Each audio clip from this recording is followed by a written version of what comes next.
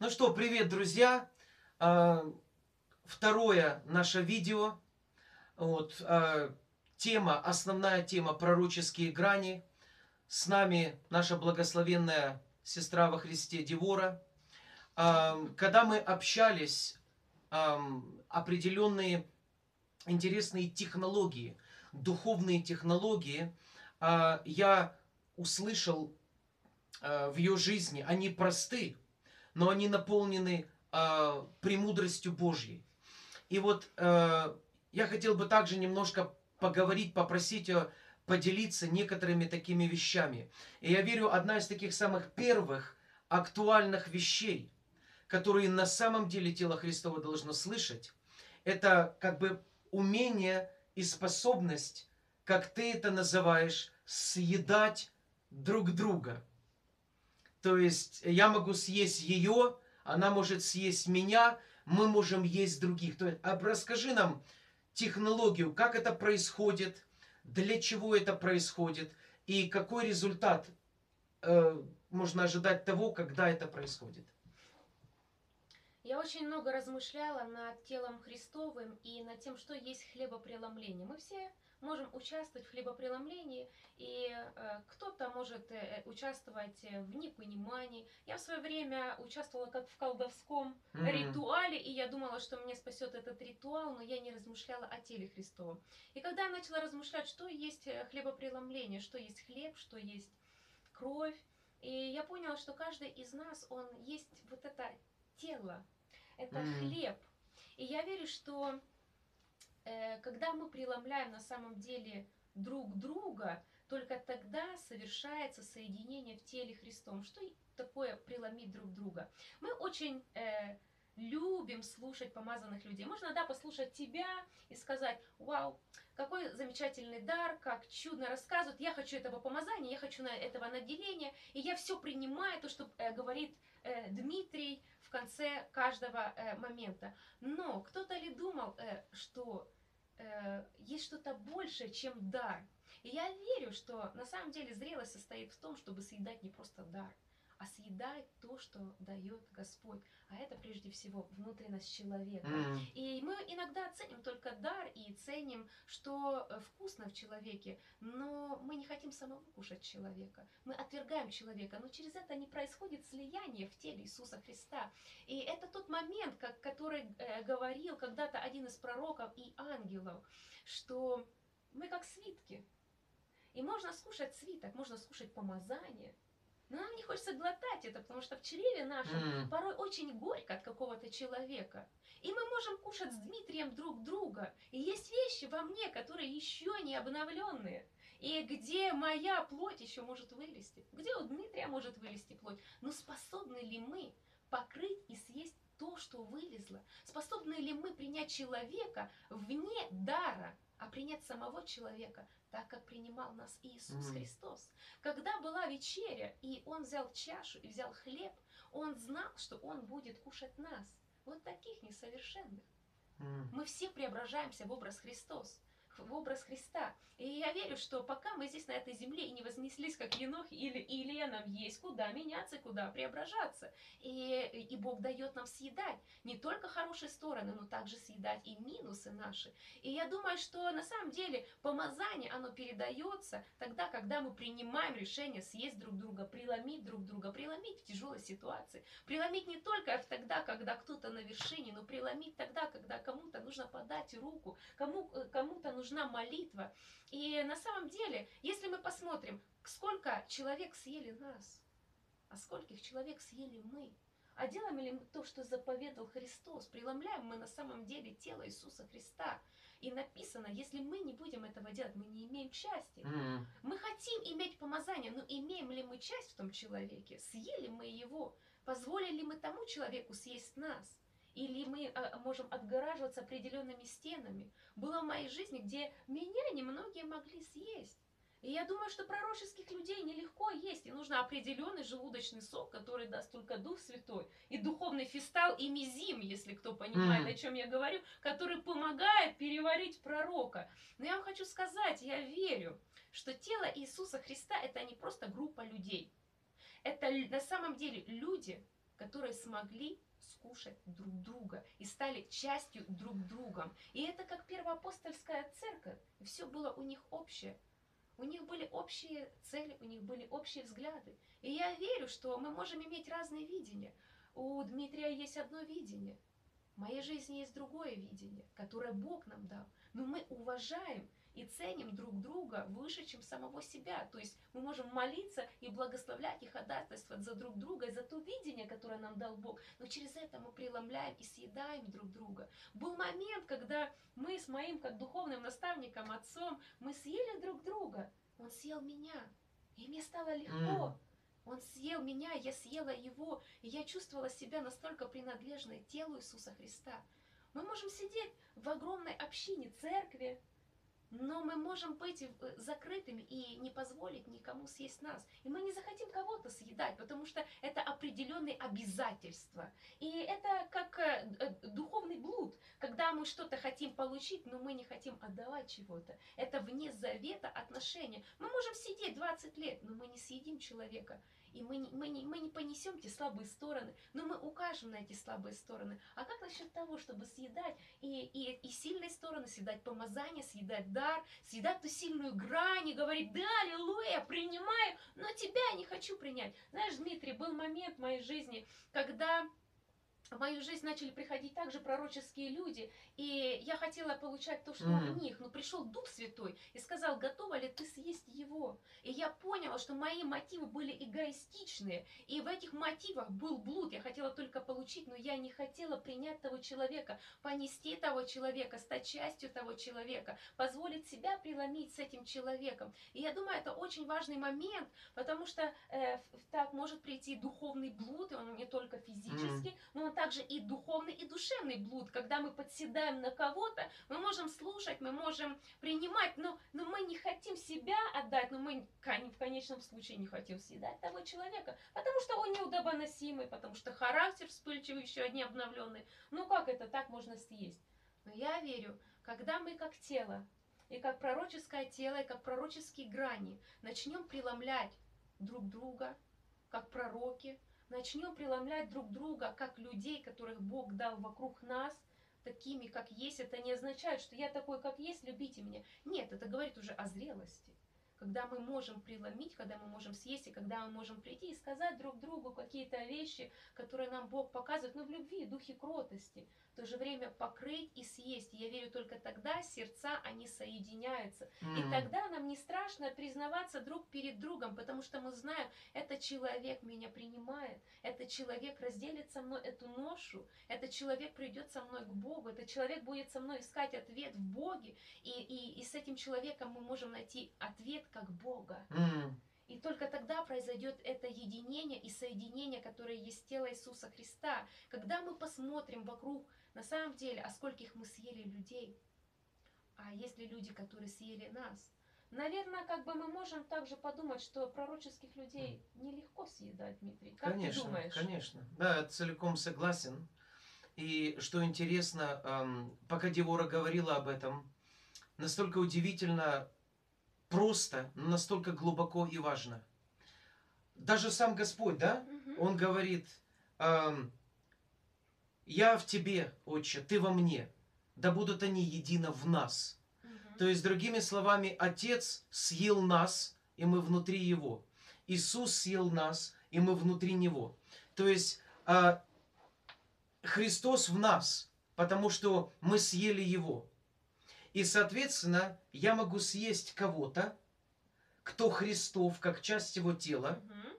и Он будет внутри меня – то есть не только Христос внутри меня, но те, кого мы съедаем, они также про них проходят внутрь нас.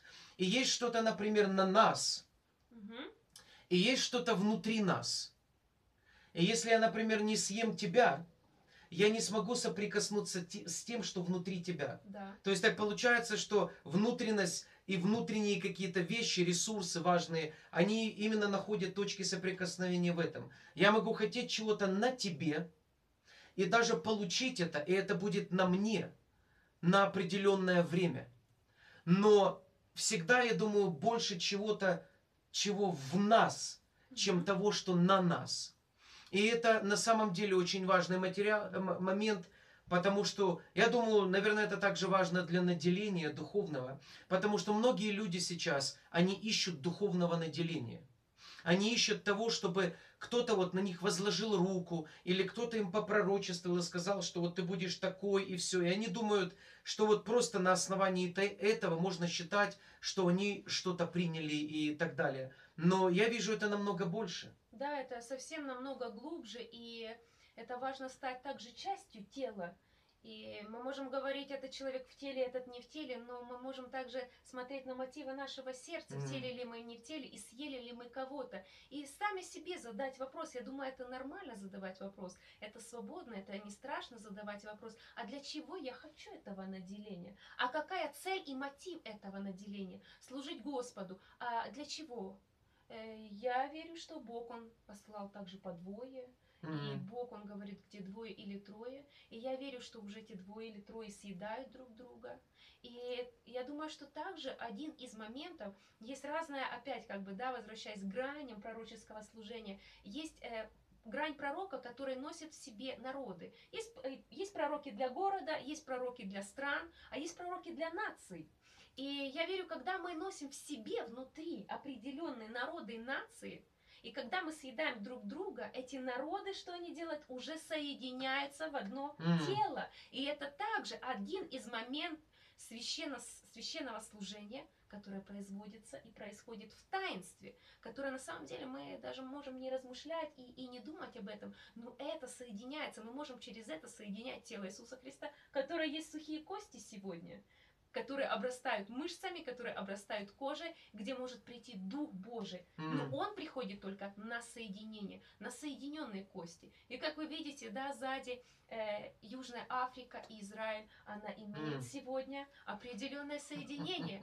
И знаете, это соединение во взаимо скрепляющих узах любви. И в этом все сказано. Это взаимные узы. Это не одна из уз, что э, только например, я буду получать от тебя, и я буду этим питаться. Я думаю, это называется паразитизмом. Да. Когда только одна сторона может питаться. Но отношения, дружба в Иисусе Христе и соединение, и взаимоскрепляющие связи – это взаимообмен. И когда мы съедаем друг друга только там, я вижу в Священном Писании написано, кровь Иисуса Христа mm, омывает бывает. и очищает. И вы знаете, эта жизнь начинает через кровь Иисуса функционировать и пульсировать. Когда мы съедаем, когда мы не ищем своего, когда нету соперничества, соревнования, зависти, ревности и этих ядовитых качеств, которые на самом деле э, не имеет кровь Христа, которые не имеет тело Иисуса Христа. Но любовь, она 1 Коринфянам 13 глава мы можем почитать. И я верю, что через это съедание, через эту любовь, Божью любовь, которую нам дает Бог, съедать друг друга, мы даем возможность крови функционировать и течь через нас. И тогда эти органы, они соединяются и тело начинает соединяться. И только это тело, оно может восстать против тела Антихриста. Только через эти взаимоскрепляющие связи. И очень, я думаю, наверное, печально видеть, как сегодня тело Антихриста соединяется в больших пропорциях и в большом движении, меньше, чем тело Иисуса Христа. Потому что там не ищется своего. Но почему-то мы как-то смотрим на эти моменты. Mm. Да. Как, как ты видишь это, Дмитрий? Это вообще интересный э, такой глубокий аспект. Э, как, как ты говоришь, то, что происходит в, тай, в таинстве, то, что происходит э, мистически. Конечно, мы понимаем, что э, без непосредственного, конкретного вмешательства Господа в эти ситуации это невозможно. Мы, мы с одной стороны осознаем, что наш Бог есть Бог единства, что Он сам един, Он один – и он един, и он сам по себе и семья, и он сам по себе и команда. Вот почему он смотрит семейно и командно на нас. Вот почему он даже, ну, он может все делать сам, но он делегировал эту власть телу. Он любит делегировать э, благословение, полномочия, наделение для другого тела. И я верю, конечно, э, отсутствие вот этого единства, не такого, как люди считают это единство, которым mm-hmm. видит его Бог, я думаю, оно приводит к тем, что, ну, есть определенный недостаток в правильной функциональности тела. Вот почему мы иногда даже не видим тех вещей в сфере сверхъестественного, в сфере духа, в сфере манифестации, проявления да, той же славы, Мгм. вот, а, потому что тело не находится в том состоянии еще и не функционирует так, как должно. Что ты можешь вот, тоже об этом сказать, добавить? И как вот ам, видишь ли ты и что ты думаешь о том, что пророческие, а, пророческие люди, пророки, пророческие люди, а, вот как ты видишь, чтобы происходило вот это вот соприкосновение с ними? Вот, может, какие-то даже практические шаги. Э, Ну, наверное, то, что мы разговаривали да, с тобой эти дни о том, чтобы э, пророки городов, пророки стран, они могли объединяться. И объединяться для того, чтобы можно было увидеть, а что сегодня Бог делает М, в небесах, а что сегодня Бог делает на земле, а что сегодня Бог делает в странах. Э, Я из Израиля, и, наверное, каждому не секрет, что происходит в нашей стране. И это страна последнего времени, и за нашу страну важно молиться, и, и многие страны, они становятся вместе с Богом Израилевым. И э, также я вижу вот этот момент единения, но без вот этого общения этого не произойдет. И как вы видите, сейчас Бог соединяет э, разные грани пророков и стран, где соединяются пророки Израиля, где соединяются пророки Африки, и где начинает происходить общение. И только там начинает кровь Мгм. проистекать и начинает нести полезные элементы. Те элементы, которые есть э, в Южной Африке, я верю, Израиль нуждается. Но то, что есть в Израиле, нуждается также Южная Африка. Но это все происходит через тело Иисуса Христа.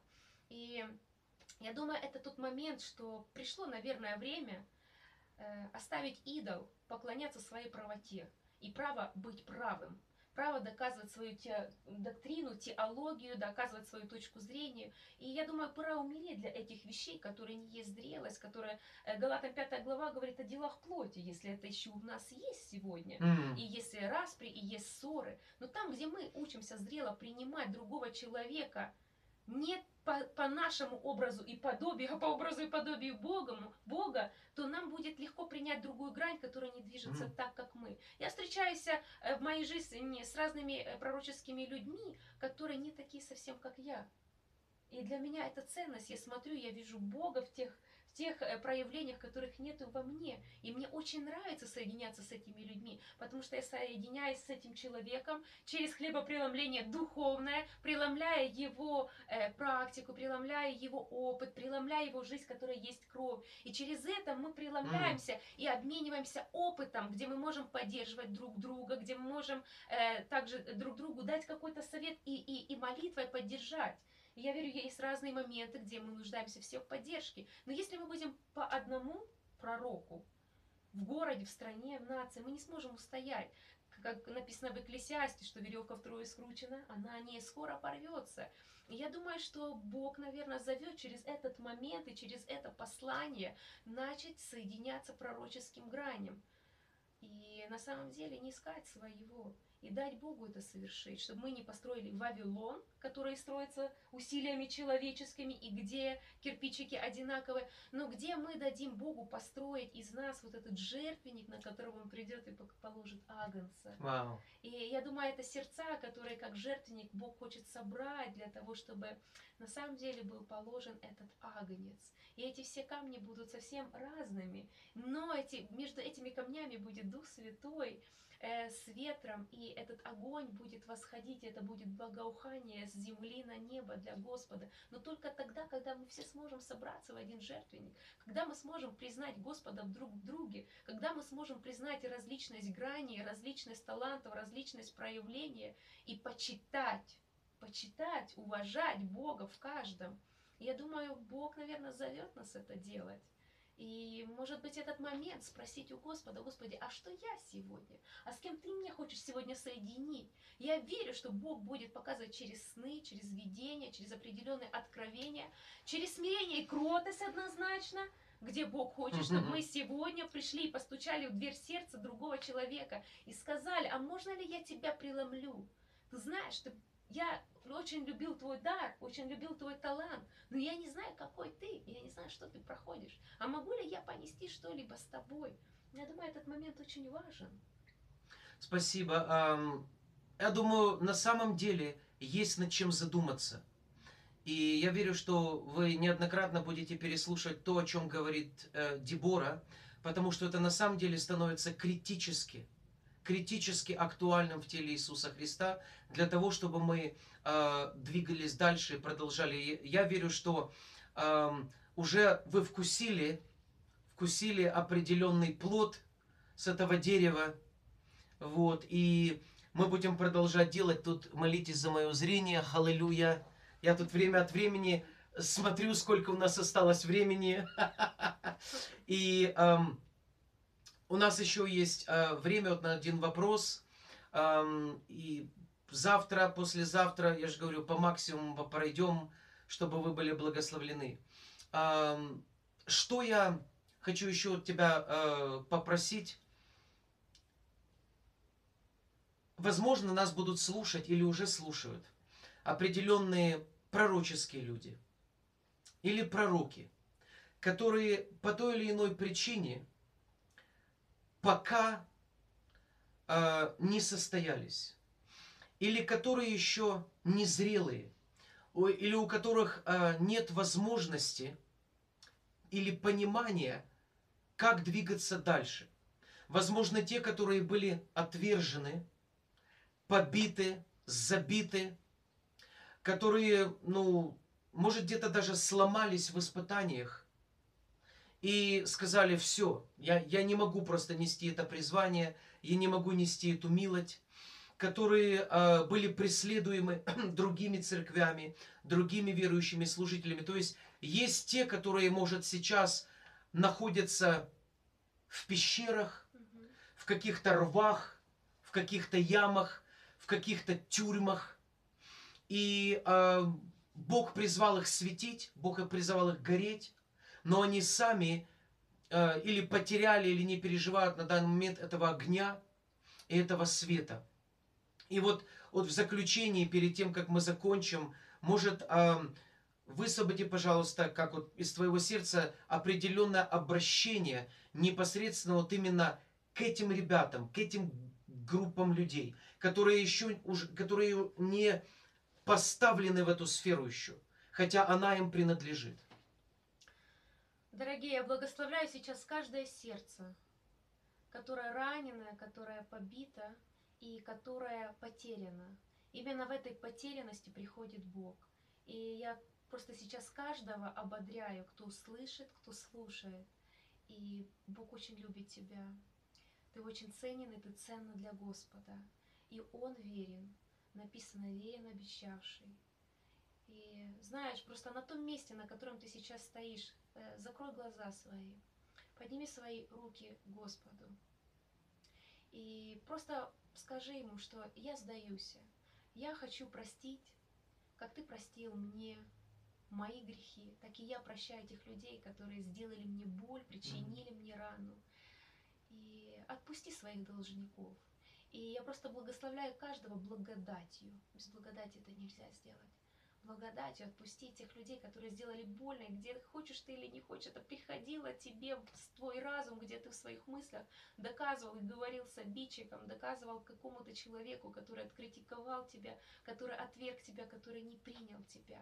Просто сейчас благодатью отдай их в руки Бога. И прощение это не значит согласиться с тем, что человек прав. Прощение это означает с тем, что отдать это в руки Бога и позволить Богу исцелить твое сердце. Слишком большая цена поставлена. Твое сердце важно для Господа. Ты важен и ты важна для Господа. И я сейчас благословляю, чтобы Бог показал ту частичку тела и показал ту группу людей, где Он хочет тебя позвать. И я также молюсь, чтобы прямо сейчас были убраны цепи обвинения, самообвинения, самоосуждения, стыда и позора из твоей жизни. Моисей в свое время убил человека, но Бог помог ему выйти и стать тем человеком, лидером, который вывел полностью весь народ из Египта. Иаков был обманщиком, но Бог позволил ему пройти этот процесс – Вы знаете, иногда для того, чтобы пошел на самом деле полководец из Моисея, нужно было, чтобы из Моисея вышел убийца. Для того, чтобы пошел Иаков, нужно было, чтобы из Иакова вышел лжец, чтобы потом пошел отец Иаков, который стал благословением для народов. И можно дальше перечислять, чтобы Петр пошел и стал апостолом. Нужно было, чтобы из него на самом деле вышел предатель. А, М. а из предателя потом дальше пошел апостол. Не разочаровывайтесь. Господь, Он всегда второго шанса. И я говорю, то, что есть сегодня в твоей жизни, не будет так всегда. И Бог, Он всегда Бог второго шанса.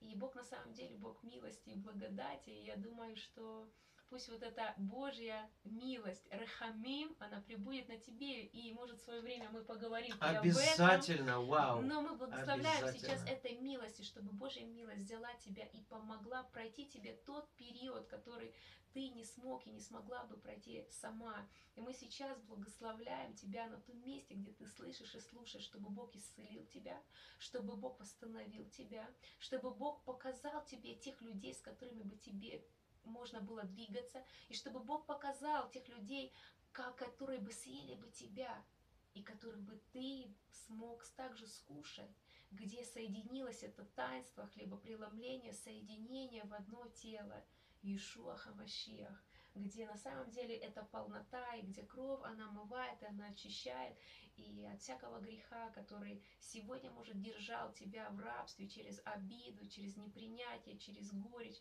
И мы благословляем также сейчас совместно небесным медом, небесным молоком твое сердце, твою внутренность, чтобы ты смог и ты смогла пройти этот период и пройти эту пустыню, которая на самом деле откроется благословением в твоей жизни, где ты увидишь много источников, которые будут открываться через этот период. Не отчаивайся, потому что Бог, Он живой, и Он дает пройти определенные вещи. Но наша задача сказать Ему «да» всей внутренности, всем разумениями, всеми мыслями, отдаться в руки живого Бога, который сможет провести, который сможет тебя вывести, который сможет тебя привести с определенными людьми, который сможет соединить тебя. Не спеши, не помогай Богу, позволь Богу это совершить внутри тебя, потому что на самом деле Бог живой, и на самом деле Бог действенный.